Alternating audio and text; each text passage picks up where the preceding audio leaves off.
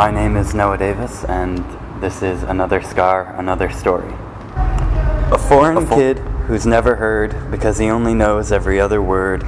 A self made man who has it all, but having lost the girl, he feels so small. A single mom, she's called a whore, but she struggles and strives to give her baby more. Each person a character in the story of life. From the vendor in the street to the bum at your feet, from the man dressed in drag to the officer with the badge. Characters are everywhere, and they can't be replaced, even those with whom we're never face to face. So never give up, never give in, though it's a struggle when you get knocked down, rise again. Accumulate another scar, never forget who you are. Remember that without them, your story wouldn't go very far. Without each of you, my story wouldn't have gotten this far.